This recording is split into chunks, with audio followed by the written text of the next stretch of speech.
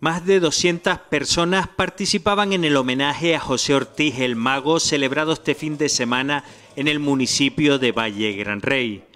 Durante el evento, el presidente del Cabildo anunciaba su intención de impulsar la declaración del baile del tambor como bien de interés cultural. Yo creo que la tradición del folclore gomero es algo tan arraigado y eh, estuvo tan presente en José Ortiz el Mago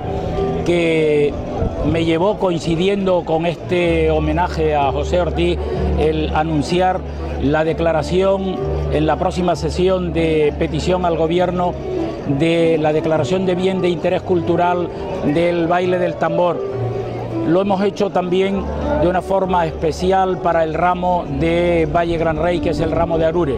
Pero a partir de ahora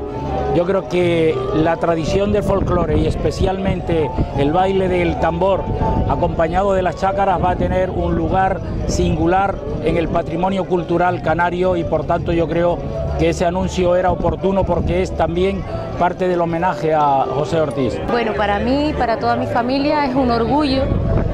muy grande, que en palabras yo no sé expresar el sentimiento tan grande que, en este momento tenemos. Para mí es que, no sé, ser hija de José Ortiz Mendoza, el mago, es un orgullo muy grande y ojalá